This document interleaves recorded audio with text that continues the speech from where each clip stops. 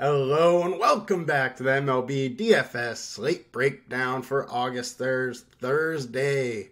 We got a nice six gamer tonight, so we actually have a quite a few games at night on a Thursday, so it's a good day for some baseball.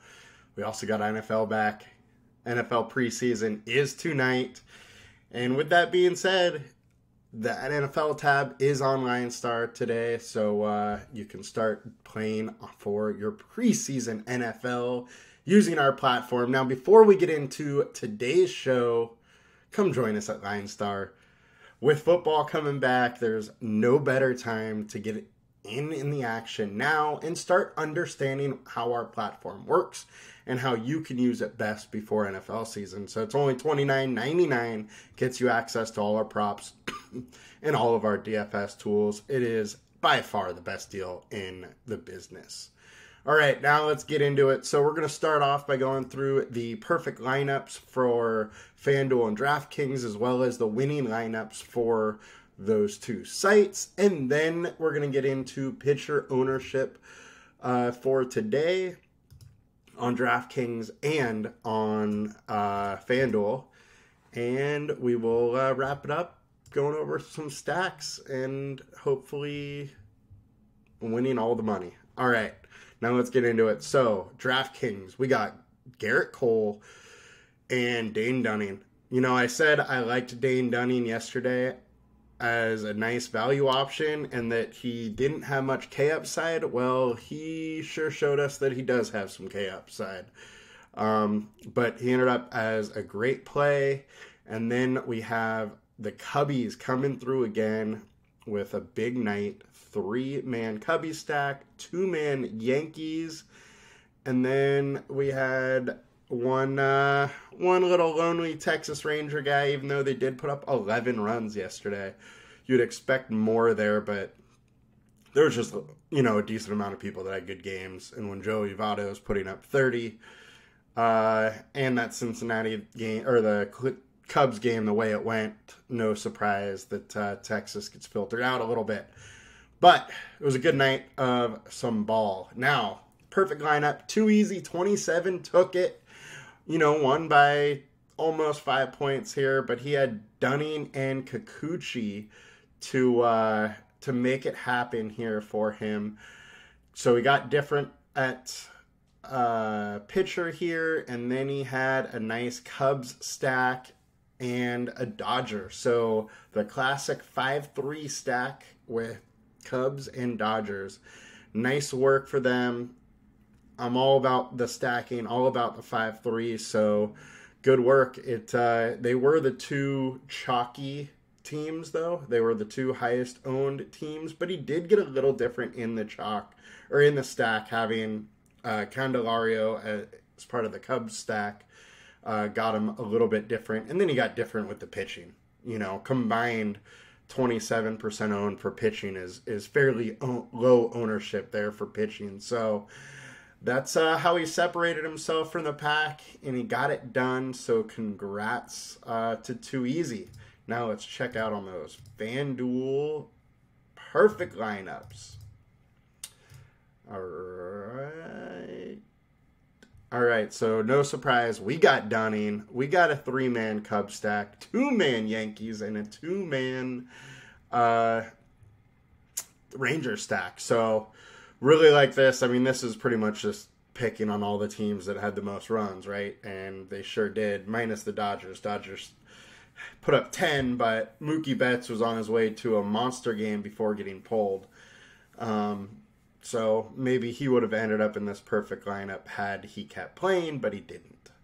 So, and the winning lineup, we got Hoop from uh, good old Ship It Nation Mike. Took it down 289.5 winning total. So solid, you know, almost 50 points off of the perfect lineup. But he went with a classic uh, what four three one. So he had Rosario in there from the Dodgers, had a Texas stack and a Cubs stack. Get it done, and I believe he won by a decent margin here too.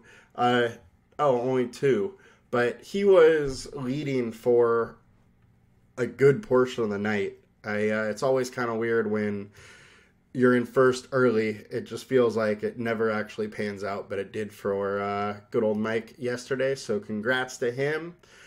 And now let's get on to uh, today's today's stuff.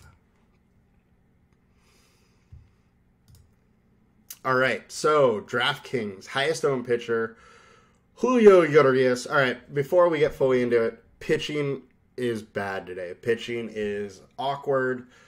Really going to be hard to kind of like dig in and find too much different. With that being said, I don't really love the chalk either. So, uh, just be warned that uh, today could be a wild day, and we likely can get different just based on pitching ownership alone. All right, Julio Urias. So he's versus Oakland. Oakland is better versus lefties than they are versus righties, but they're still not great.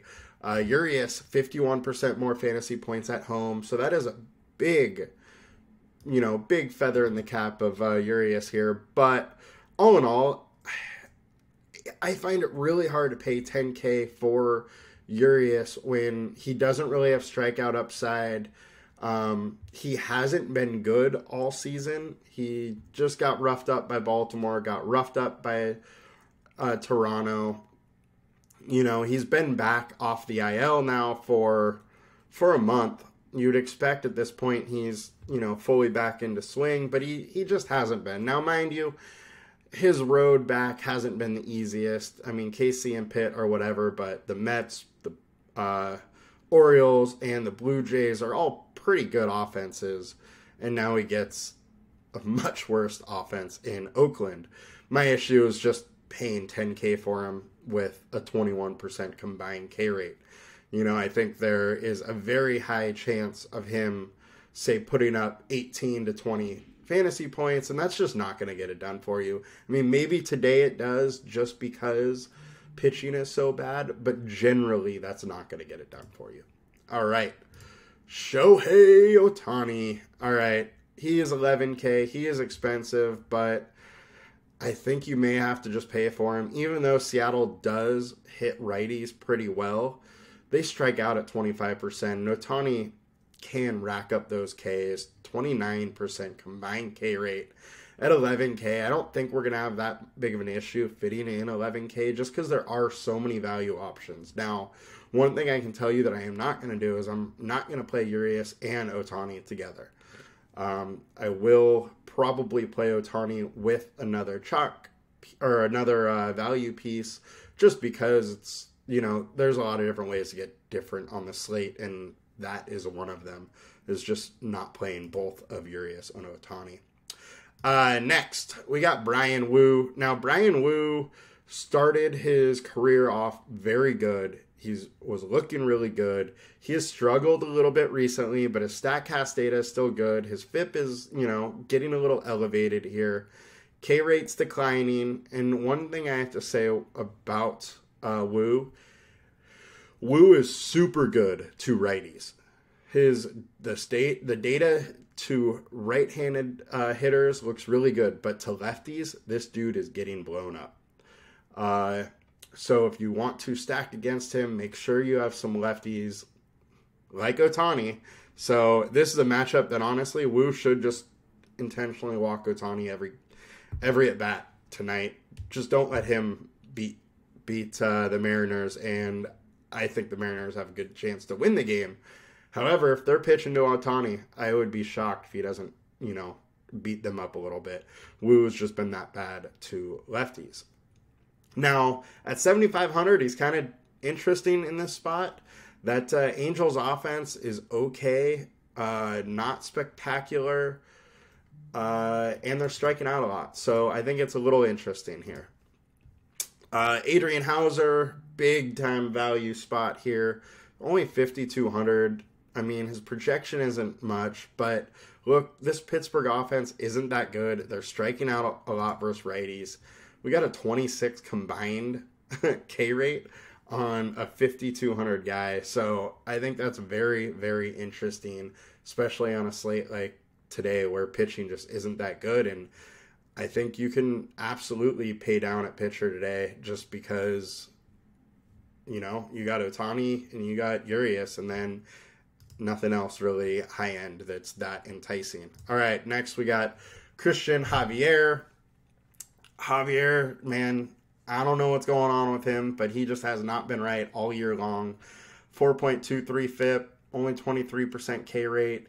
Uh, over his 20 starts, he has kept the walks down, but recently he's allowing a lot of walks. His FIP is at six. StatCast data looks terrible. They're in New York, and in New York, there is that short porch, so you know he can absolutely give up a couple home runs with a uh, you know 56% fly ball rate and 34% hard contact rate. Um, he has done well against the Yankees in the past, but that was last year when he was actually a good pitcher. Uh, he hasn't been that all year, so I wouldn't consider this data too much. I still think something's not right with him where he's not fully healthy because seeing this big of a drop off from last year to this, uh, this year is just crazy to me. Um, so yeah, I I mean he's struggling, but today with the limited amount of pitchers, he's still a little bit interesting. Uh, next, we got Jameson Taillon. Taillon has been very good lately. So he did apparently change up his pit mix, pitch mix a little bit, but Cincinnati is hitting righties pretty well. And as we have seen, the ball has been flying in Wrigley lately, and we have very similar weather uh, today as we had the last couple days. So I would expect the Cincinnati to definitely put up a couple runs here. Uh, but at 6,200, 24% combined K rate, you have to at least consider him on uh, on this slate here. You know, not not a ton of options here today. Uh, Clarke Schmidt, you know, I'm not a big fan of him. I think he's kind of been getting hit hard. I think he had a little bit of good luck uh, during his good stretches. But he can put it together and he can have some nice games. Do I think that's going to be happen today against Houston? No. Houston's hitting righties well. Uh, I would be shocked if Yordan doesn't hit a home run today. He crushes uh, righties, and there's that short porch. So, and the weather's you know warm in New York. I don't love Schmidt. Uh, only other spot I'd probably really look to get different is Sonny Gray. So Gray hasn't been great lately. Um, however, I, I don't know if I can really go there. Look, averaging 37% less fantasy points away. Um, he hasn't been working deep into games lately. He's been giving up runs. He's been letting guys on base with walks. You know, he's a good pitcher and he started off the season unbelievably, but has been really struggling. And I think his most likely outcome today is he pitches five innings and you know, has four or five Ks, maybe gives up a run or two, and that's not going to get it done in his salary, uh, but it would get you different. So that's the only way to, or only reason to really consider him. Uh, JP Sears, we should probably bring up. So he's cheap. He's had some really good games recently, but I gotta bring this up. His FIP, 5.35 and an ERA of 2.76. He has been getting lucky I would not be surprised if we see some regression here. Nice hitting weather in LA. All right, now let's check the FanDuel ownership here. Uh, Ohtani leading the way as he should be, I believe. Urias is cheaper on FanDuel, so definitely a little bit more of a consideration there. I think you got to consider Woo on FanDuel, and you can consider uh, yeah, I would probably be sticking to kind of the upside here. Uh, higher owned guys, with the exception of Woo. I mean, you can make a ca- case for Mitch Keller. He just hasn't been great lately. Um, he's actually been pretty bad lately, but uh, you know, he is he can go out there, go six innings and strike out five, which that might get it done today if you're not letting a bunch of runs. If you're if uh, Ohtani doesn't have a huge night, so pretty uh, pretty tough go here on FanDuel. I think maybe Houser could sneak up there and, and get involved, but uh, you know, pitching's tough on FanDuel. You may have to go to Ohtani just because of that upside, and just nobody is close to him with the upside. Um, all right, let's go to stacks. So, highest game total, this Cubs one. Pretty sure ownership's going to be there. Yep. Cubs highest owned, Dodgers next, Cincinnati, Dodgers, Cubs, Cincy. Yep, they're gonna. Those three are going to get everything today.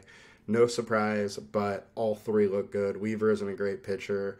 J.P. Sears, you know, his FIPS has been terrible. His ERA has been decent. I think uh, there's some regression coming to him. Taillon has been really good lately, but the Cincinnati team hits righties pretty well, so I don't love Taillon.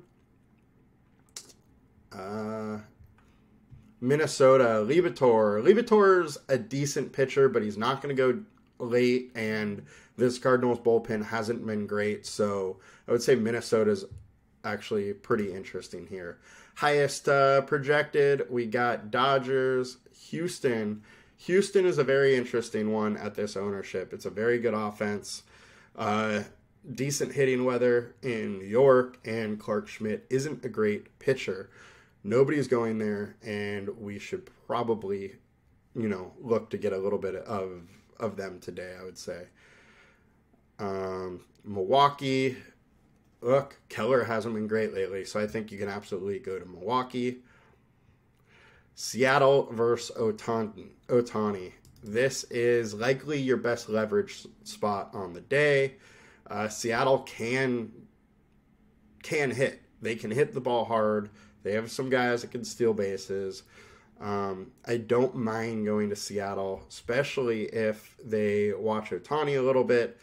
You know, he's been having he's been having some cramping issues the last week or so. So he comes out of the game a little early for whatever reason, you're right for a, a takedown if Seattle gets to him. St. Louis, Sonny Gray been that great. St. Louis, it's warm. You know, they can hit, uh, and when they start hitting, they tend to put up some decent numbers there. Value wise, Seattle versus versus Ohtani. Obviously, Cubs are in there versus Weaver. Uh, Pittsburgh versus Houser. This is an interesting one. You know, Pittsburgh can occasionally put it together and have some really ga- good games, and Houser can get lit up. So I don't mind that little value spot, low owned. Uh, Minnesota is there as well. And highest ceiling Dodgers, Houston, and Cubs. No surprise. I mean, Cubs are obviously in a great spot, and they've been hitting, you know, amazing the last few days.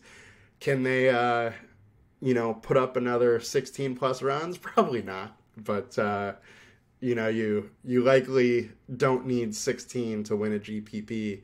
10 probably does it. Uh, at least most slates 10 plus will do it. So, can they do that? Absolutely.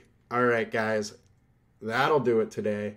Make sure to like, comment, and subscribe to our videos. Helps us out a ton. I will be back tomorrow for the Friday slate. You guys have a good one. Bye.